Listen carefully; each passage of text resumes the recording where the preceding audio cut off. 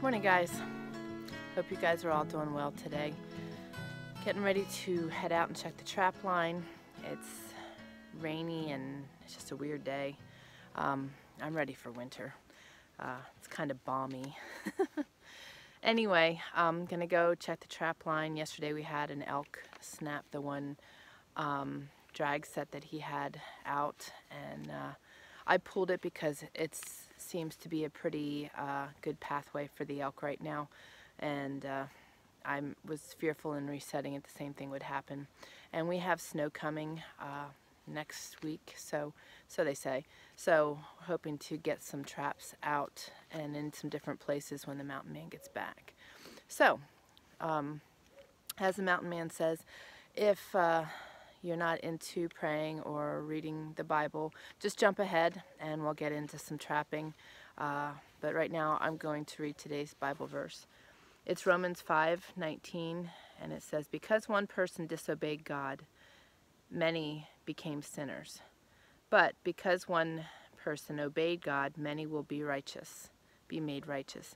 And I think that's I think that's an awesome verse. It uh, shows that we have choices and it also shows that we can be a light. And the mountain man and I and our family really are choosing to share what we share because we want to be a light in a very fallen and broken world and give people hope and inspiration. And uh, you guys have choices too. So remember that. And uh, choose the high road. We've been saying that a lot to the mountain boy um, while he's away at school and uh, he's been making us really proud. Um, without us having to say anything, he's been choosing the high road. So that's also a good point too is what we what we uh, display is what our children will also follow suit in most times. Uh, it'll be at least ingrained in them and then they will be on their own to make their own decisions. But those are today's words for you and my thoughts. And uh, I'm just going to say a quick prayer here and we'll hit the trap line.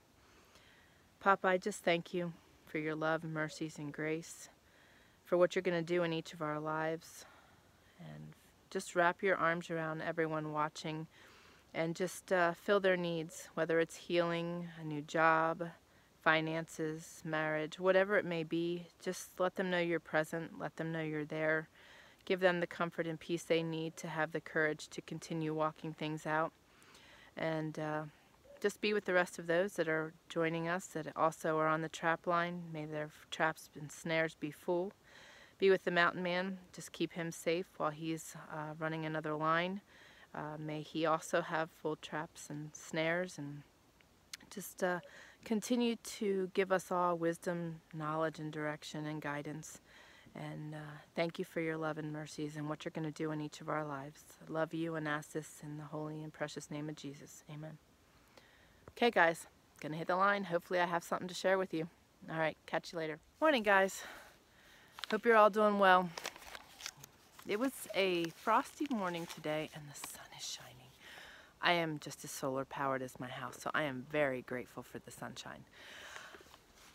I'm heading out in the trap line, and uh, as the mountain man always says, if you're not into um, prayer or Bible verses, uh, just jump ahead a couple minutes here and, and we'll be into trapping. Um, I would be recording more, but being that I'm driving the four-wheeler and maneuvering and all that, it's a little hard to video and do it all. So I'm doing my best. Hopefully there'll be something in the traps. Um, I made the right choice uh, pulling that trap the other day um, that had been snapped by an elk because they are just in that area really heavily. So I made a good choice there uh, rather than resetting that. And like I said, we have a cold front supposedly moving in this coming week. So uh, we'll take advantage of that and set and reset and move some things around. Um, the mountain man is expected back today.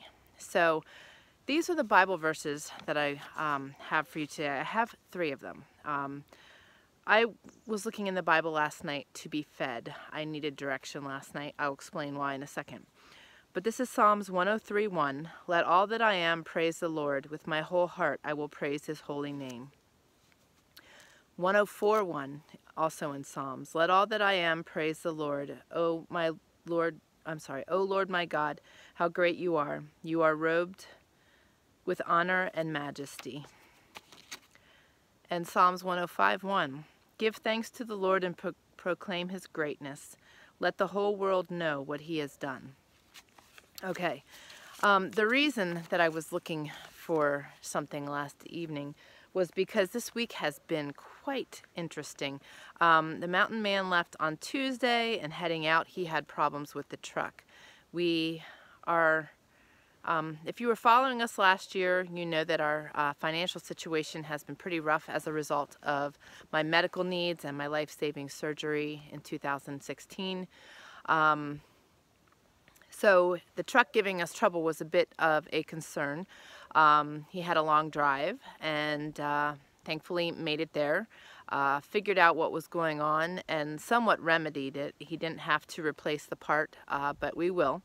Um, and then uh, at the end of the day, after I was very productive and had a lot taken care of here, uh, the water pump on the house went and um, I took that apart yesterday and cleaned the filter and was uh, checking all the wiring and still have not gotten any results with that. So I was um, moving water with buckets, which was perfectly fine.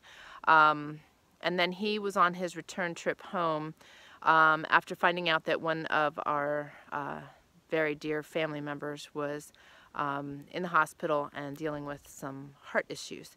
So uh, he was on his way back and was having more struggles. He did get to stop in to see the mountain boy on his return, but uh, it was just a grueling. It was. It's been a. It's been an interesting week, and you know we get tired and we get weary. We still trust God greatly, but um, it's just human nature to get tired and worn out and that's where we both were so um, I have learned greatly through my illness to uh, when I when I get to that place to just seek Him, and that's what I did. And these are the words that He shared with me. And the thing that we need to remember is our perspective on things and our choices on things can make or break a situation or change um, the whole overall experience. Um, so if you were following us last year, you know we were in a pretty rough place. This year has actually been worse. But as you can see, our perspective has made us very different. And that is the beauty of being transparent, sharing our lifestyle and our life with you, is that hopefully you are seeing the greatness that God is doing in our lives because He is bringing him home safely. Um, I still had water despite uh, a faulty piece of equipment um, which of course we plan for. Um, but it's all added expenses, it's all added things, and our, our motto here is you just can't make this stuff up because it just keeps coming. And I think too that that's part the enemy fighting us um, for our efforts in sharing our journey as well as sharing God's truths with you all. So that being said, he is great. He is good. And despite that we are going through crazy stuff, I'm still celebrating him and I'm going to continue to do so. I am not wallowing in my own pity.